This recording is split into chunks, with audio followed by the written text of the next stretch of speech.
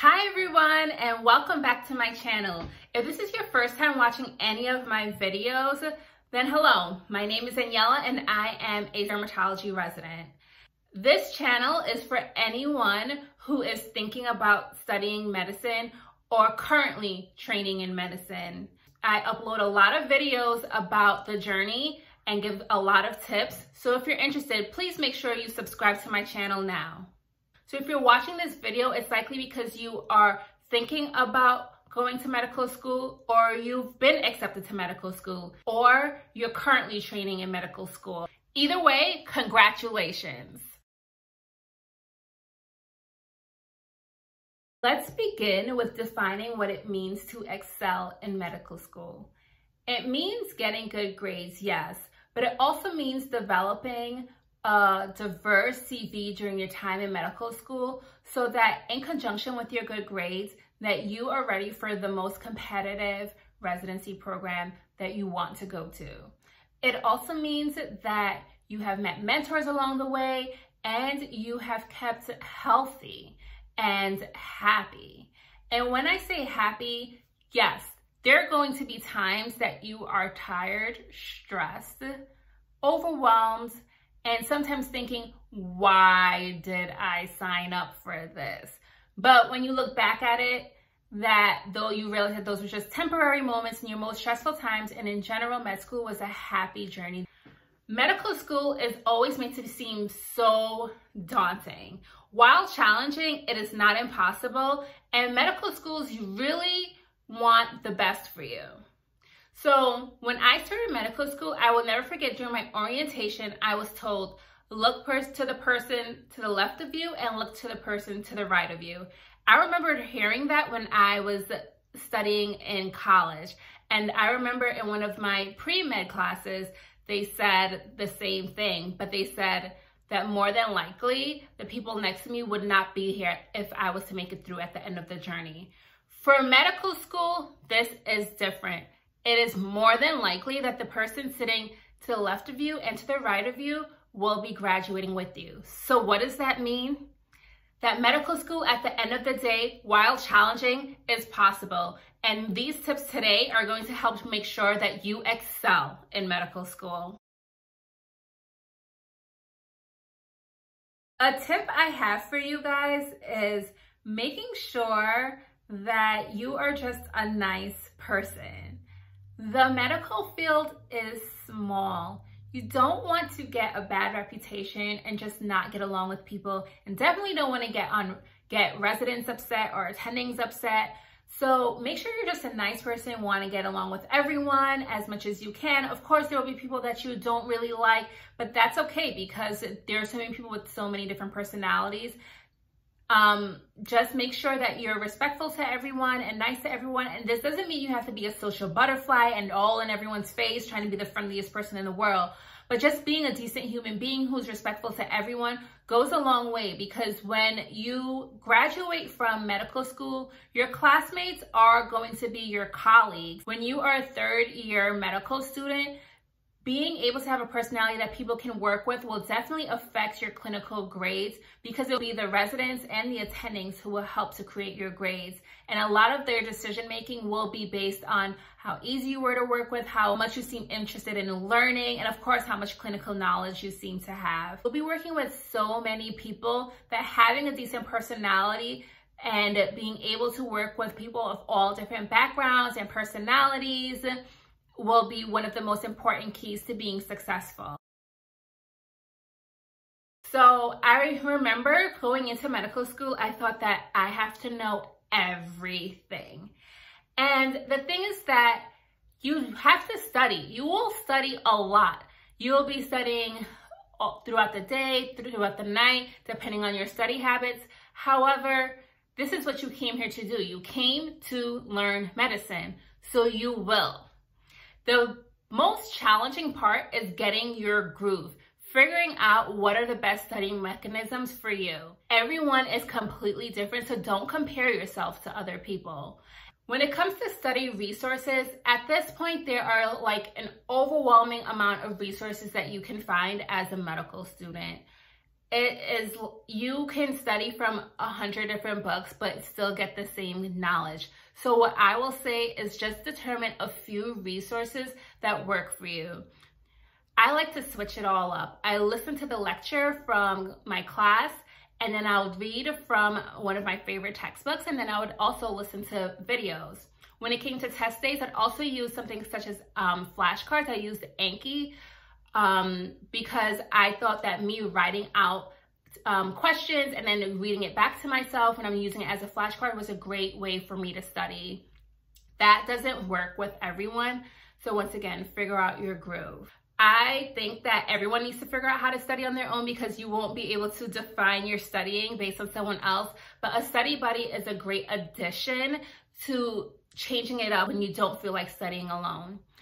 Determine if you like study groups. I love study groups, but closer to an exam date.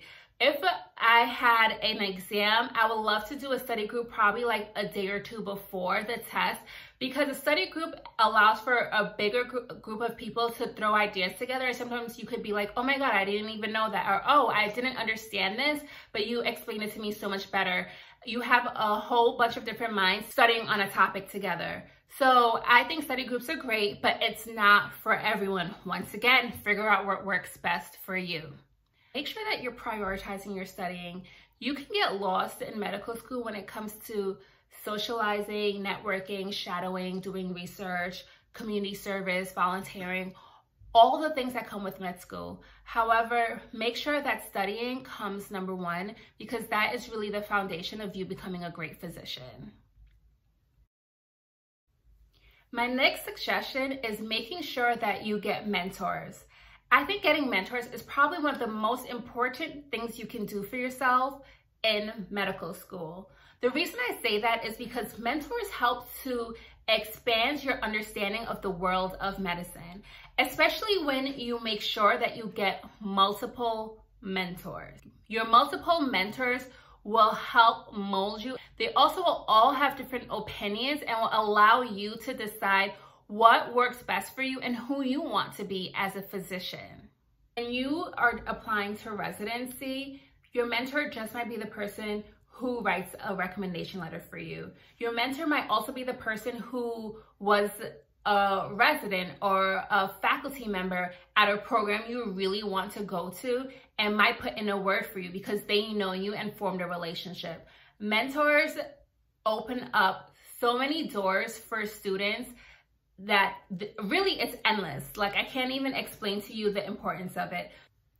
You can also get mentors through networking. You network when you go to conferences, when you do extracurricular activities, volunteering in the community, when you do research, and then you form a connection by making sure you get the person's email address and you follow up with them through that email and just let them know a little bit about you and maintaining that relationship so that anytime throughout your medical school career or even after, you can always feel comfortable with reaching out to them. I also suggest networking with upper years. The upper years in your medical school would be one of the best resources because they actually know how your medical school works. So for example, they'll be able to give you the resources that work best with the test because some tests will more than likely reflect what was taught in the lectures and usually lectures are taught over the many years so a lot of students would know what are the best resources to address the specific tests that you'll be seeing in your medical school in your first and second years. Upper years will also be great to let you know um, great organizations to join. They will also know great mentors they, especially if they have a mentor that they think was is fabulous, they will definitely they can recommend that mentor to you. And then especially when it comes to applying to residencies, when you determine what field you want to go to, if you have spoken to an upper year, eventually went off into the fields that you're interested in, you can always reach out to them because they can also be a great help in helping you figure out what programs to apply to, um, helping you with your personal statement. This also goes for residents when you reach to the, your third year, network with resident physicians because they can give you research projects, give you tips um, on the specific field that you're interested in. Everyone is a great resource. Shadowing is definitely very important. I even had a mentor who told me that shadowing wasn't that important because you'll get that experience in your, in your clinical years. I realized afterwards that that is not true. There are some fields that you just aren't exposed to in medical school. They're not considered part of your core rotations. And you may be able to apply for certain rotations that are considered electives, which are voluntary rotations that you take upon yourself. However, there are fields that I didn't even experience in medical school, such as ophthalmology, radiology. Shadow in your first and second years before you're mandated to start doing clinical rotations. During your first and second year, just choose any rotation that you feel like um, that you think you might be interested in, or even a field that you don't know anything about. That just might become the field for you. You never know. It helps you realize what you might want to do later on or what you might not want to do later on, and that's okay. But by the time you reach your third year, you at least have some understanding of what you're looking for as a career. Okay, when it comes to research, research is another way, like I said, to get a mentor, but also research is a good way to make your residency application look a little bit better, even if you don't like research. And this is coming from someone who hated research in undergrad. And I ended up doing a lot of research mainly because I was going into dermatology and it was a field that likes research. But when I started doing research in the field that I loved, I also started enjoying the research projects I was doing. My medical school actually mandates we do a research project. And I remember when I started medical school, I was really annoyed by that rule, but I was really grateful at the end of it when I actually had a project under my belt because it added to my CV. And then it wasn't until third year I decided I wanted to do dermatology and I had to rush into a whole bunch of projects. But I w- it made me feel a little bit better that at least I had something that I had already worked on. And of course, for my residency interviews, they asked me about that specific project. And that project was never even published in any journal, but it still meant something to the programs. So just do a research project. Um, it doesn't have to be long. It doesn't have to take many years like some of them do. Some can be really short, probably take like a month or two to write up especially if you do like a case report and you're helping um, a resident with a case report or an attending with a case report. However, some projects do take long and because of that, that's probably why you should give yourself time starting early in your first or second year. Additionally, there are so many things that research can do for you. Research can help introduce you to a new mentor. Research can help introduce you to a field that you weren't even thinking about and now you're thinking that maybe you might want to pursue it as a career. Research might even make you think that you want to include research in your future career. And if you just do one project and realize you hate it and then you realize you're doing you're going to join a field where you don't even need a project, then that's fine. But like I said, I'm just setting you up for the ultimate forms of success and I do think that research is one of them. Especially because for competitive programs, most of them want to see that you did research. My next tip is ensuring that you are getting involved in the things that make you happy, meaning your hobbies. Whatever hobby you had before medical school, while you may not be able to keep all, at least try to keep some of them, if not all. It helps to make you sane throughout a challenging four years. It helps to make you keep being you. And then once again, it also helps on those residency applications when they ask you what you do in your free time. You should be partaking in extracurricular activities. I say that because once again, it's a great way to get mentors. Secondly, it's a great way to just be social and involved possibly in the community. And additionally, when you apply for residency applications, the, the residency programs want to see that you were doing things that make you a complex, interesting human being that not only wants to help patients, but wants to help other aspects of the world.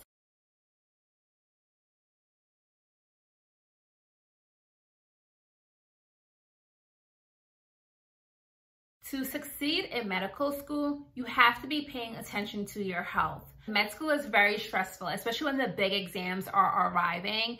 And it's also very stressful when you're thinking about residency and applying to residency. So because of that, your mental health can be greatly affected.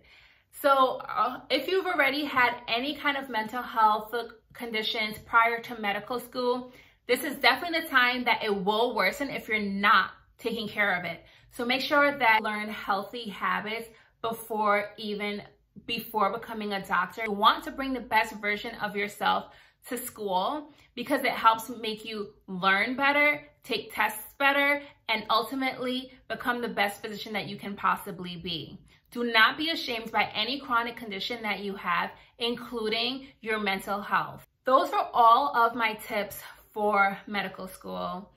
If you have any questions or you want me to tell you more about a specific topic, leave it in the comment section. If you want to get to know me a little bit better, follow me on my Instagram at The Real Skin I'm In. And make sure you press that subscribe button to ensure that you're keeping up with all of my latest videos. Bye.